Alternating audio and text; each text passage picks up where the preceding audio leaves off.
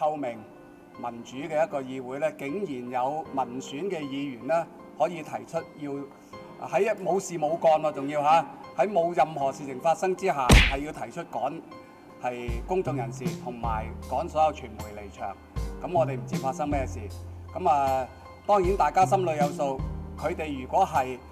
拉布嘅，應該係堂堂正正型，又唔好咧鬼鬼祟祟用呢一啲嘅去玩。咁啊，我哋希望咧係誒主席其實要嚴格執行呢個議事規則嘅。睇睇嘅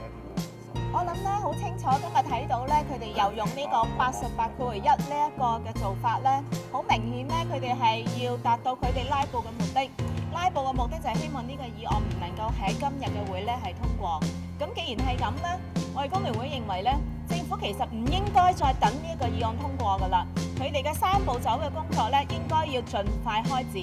因為咁樣先至可以令到我哋嘅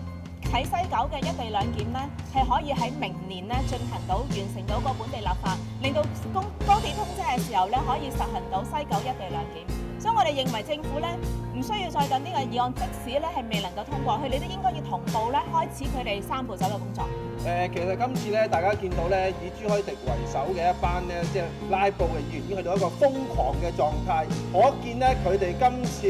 嘅反對一地兩檢嘅拉布咧係不得民心。我哋咧覺得係繼續要堅守議會之餘咧，亦都要對於呢一啲係濫用議事規則嚇、顛倒咧議事規則嘅原意嘅議員咧，係予咧強烈嘅譴責。佢哋呢一種咧係惡意嘅拉布。係已經唔係一般嘅拉布，係非常之瘋狂嘅行為嘅。我諗無可置疑咧，朱海迪提出呢、個誒、呃、議案咧係一個卑劣嘅議案，